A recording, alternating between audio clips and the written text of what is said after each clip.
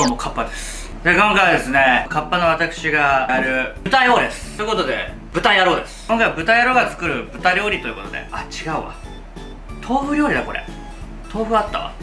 えー、ということで豆腐メンタルです。はい。まあいろいろ使うんですよ。豚も豆腐もいろいろ使う。東京の十条区でえー、まあもうソウルフードとして馴染みがあるですねこのねからし焼きっていう、えー、ものなんです皆さんからし焼きって知ってましたか？元祖で作ってるところもあるんですけども辛い豆腐のチゲチゲっぽいような辛い肉豆腐みたいなのがあるんですよ、今回は再現レシピということですね。ソウルフードからし焼きめちゃくちゃうまいです。なんでこれをですねやっていきたいと。思いますリュウジのバズレシピ。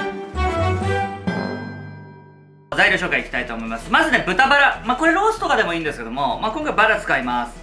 えー、150g 絹豆腐。まあ普通にもう絹豆腐です、えー、300g のものを用意しました。はい。玉ねぎ使います。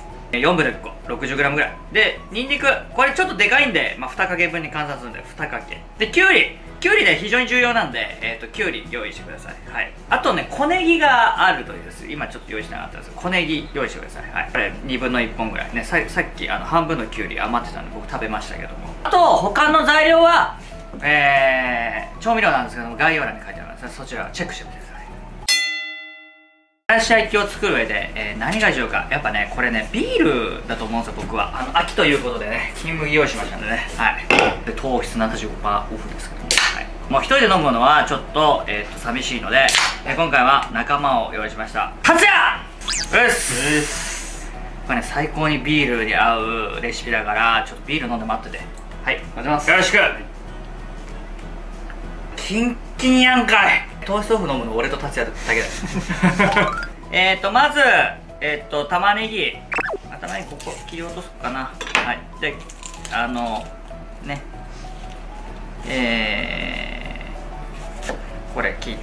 てでえっ、ー、と、ね、玉ねぎはねあの今回ねこうやって切ります。こうやって切ってでこう切ります。はい。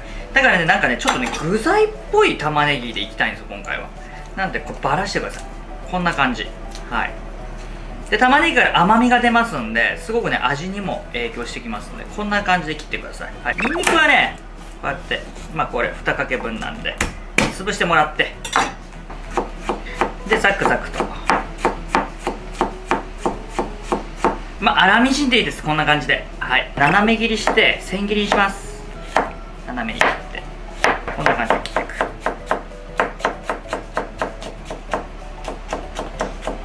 豆腐の煮込みにきゅうりなんてと思うじゃないですか。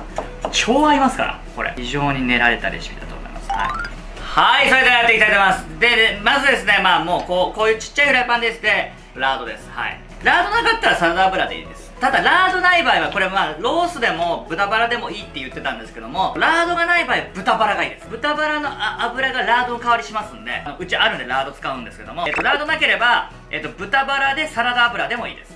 大体ね大さじ1杯ぐらいねえー、っとやってください。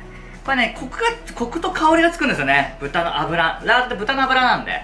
えー、ともうバラはねもう火つけた段階でねもう半分にもうちぎりながら入れちゃいます、はい、切ればちぎんなくてもいいんですけどもなんかもうこういう方がなんか僕っぽくないですか？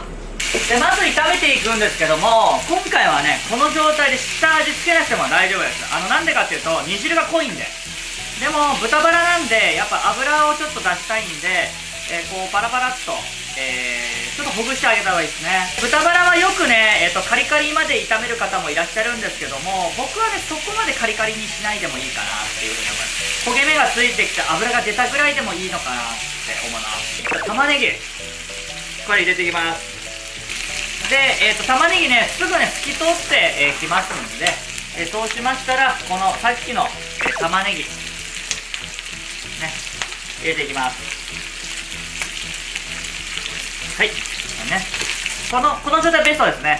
ちょっと豚がカリッちょっとカリッと焼けてで玉ねぎが透き通ってでニンニクが焦げてないこの状態まで持ってってください。ちょっと弱火ちょっと弱火の火にします。あとねお醤油。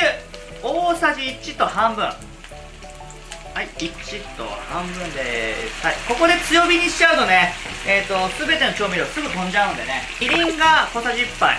甘みつけていきます。お醤油味付けね。で酒が大さじ2杯。えー、これ風味付け、えー、あとお肉の、えーと、香り飛ばします。臭み消しです。あとコク付けにもなりますね。このからし焼きのからしって何かって言ったらこのね、えーと、豆板醤の、ね、唐辛子のからしらしいんですよ。ね。なんでこれ入れてください。えー、えー、と大さじ1杯。で、えー、とちょっと溶かして。お砂糖でちょっとねえっ、ー、とこうコク、えー、あと甘みを引き出します大さじね3分の1ぐらい。ね。まあ、こもう好みです。はいこれぐらい。入れてください。水大さじ2杯。スープ煮みたいになるんで、えーと、水を入れて水分補強します。おろしにんにく1かけ。最初のにんにくはえーとまあちょっと,、えーと、炒まった、えー、ちょっと香ばしい香りつける。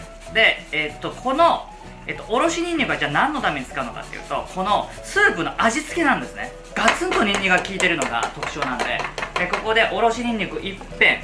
えー、入れましてこのにんにくのうまみを溶かし込みます、えー、僕のいつも使ってる味の素。12345はい 5, 5振りします。はいこれでですねだしの代わりですね。弱火で煮ていくとこうとろっとしたはいえー、スープになると思います。はい、はい、で水切りました。でここにもうすっごい美味しいこのタレができてますんで。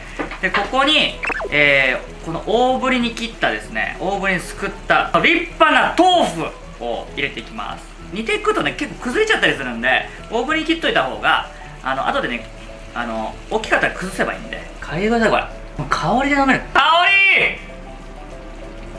ああ豆腐からですねまた水分が出るんでこっからえっと少しね煮ます。3分ぐらい煮ればいいと思います。はい。ちょっと中火ぐらいにして。この3分間で秋を楽しんでいきます。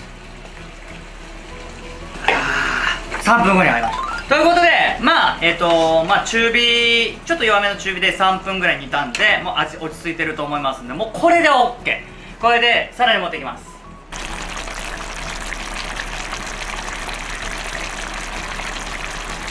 はいじゃあ持っていきます。もうガシャッと。はい。ガシャッと持ってください。大体まあでももう2人前ぐらいありますよこれね。で途中ねあの煮詰めすぎたなと思ったら水とか足しても全然いいですからこれね。きゅうりです。いきます。パラパラっと。あのネギね。十条名物からし焼き。完成でございます。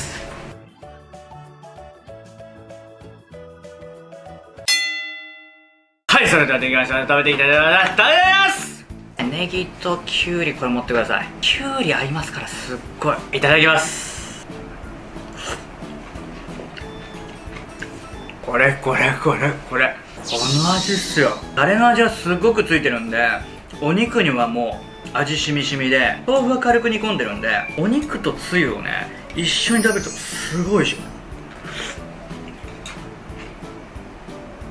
これビールだね。味的にはね辛みの強い肉豆腐の感じですね。下町感がすごいですこれ。まったりした味なんでこのタバスコの酢の香りもすごくいいと思うんですよ。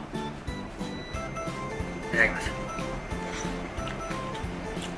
めっちゃ合う。タバスコ正解だなこれ。辛さをもっと求める方は追い一味とかしていただいてもいいと思います。こってりしてるはいるんですけども豆腐がねやっぱさっぱりしてるんですごく食べやすい。達也バイブス上げてこう。バイブス上げて、うん、乾杯！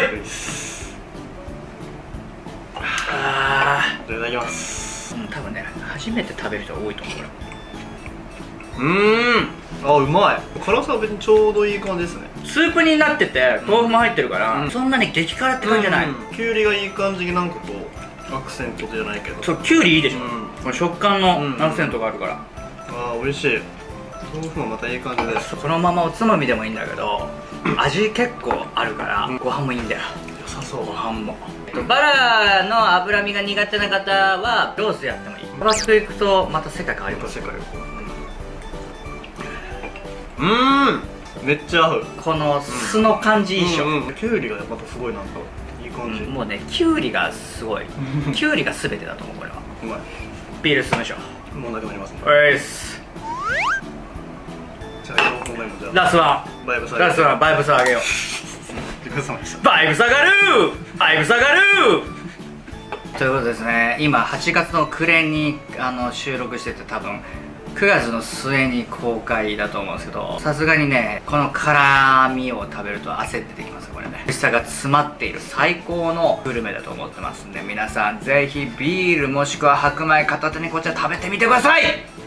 えー、この東京ソウルソウルフードからし焼き、えーこれねめちゃくちゃうまいです。